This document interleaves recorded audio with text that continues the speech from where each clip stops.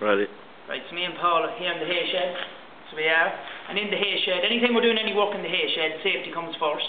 So it does, we've got our safety boots on. So we do. Earmuffs. And most importantly, glasses. So we're here cutting the voussoirs on our wee table saw. As you can see there. Nice wee setup. Small table saw. More accurate. So it is. There's our boots on the table. Marked out. Numbered at the back. There's all our um, spare cuts there, all our waste. So this is what we're aiming for. We're aiming for a camber arch. We have our set of templates that's so marked and numbered. So we've one arch done already. Took us roughly about two and a half hours to cut out. Like so. So that's our end result. This is our marking table. We've it marked out here.